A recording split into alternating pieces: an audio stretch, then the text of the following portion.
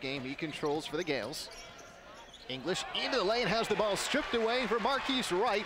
Running with Hymes on his left. Wright will take on two and lays it in with the left hand. First team foul for Siena.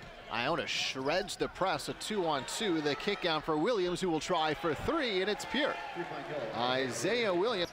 Oliver galloping across the timeline. Cross-court pass for Poole. Underneath, look for Lavon Long. Out for Ogunyemi, who was trailing the play, and now Poole rolls off a screen. Looks for three, misses. Poole gets his own rebound. Bounce pass underneath to Ogunyemi. Up strong off glass and good. Bounce around and inbounded back near mid-court. Mayo now out to English, who will try for three, and he knew it all along. The circles takes the pass from Oliver with 17 to shoot. Bounce pass to the right elbow for Long. One dribble. Gets within five feet. Goes up strong and scores. But he couldn't field the pass cleanly, and now it's Iona that comes away with it, and they want to run. Amayo, beautiful no-look pass to English, reverse layup and scores. English has eight. Blink to his right. Passes for Ogunyemi, kicked out to Poole, open for three, and that one he nestles in. Casimir keeping him in check.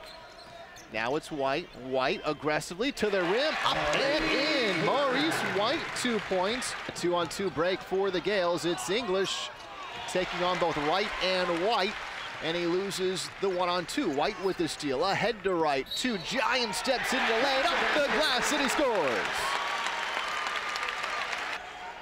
Entry pass for Lowry.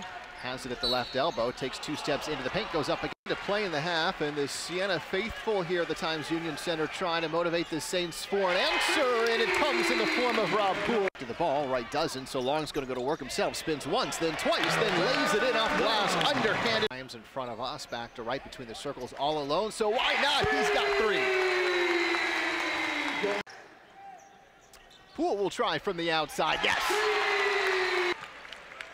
Now White from beyond the arc, crosses over into the paint, goes up against Hines and gets it. Smartly will pull it back, now finds Wright who tries for three, no good. Could have blown the roof off the place. Offensive rebound for Yemi and he lays it in. Poole asking for it, Oliver spots up for three, no.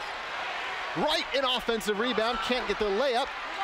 An offensive board for Long, kicks out to Poole, tries for three, yes! Higher shot clock down to five. They have it where they want it. Lowry against Brandwick, and Lowry wins with relative ease. No. So all of a sudden, a 12-point deficit. The Rob Poole cuts right back into that.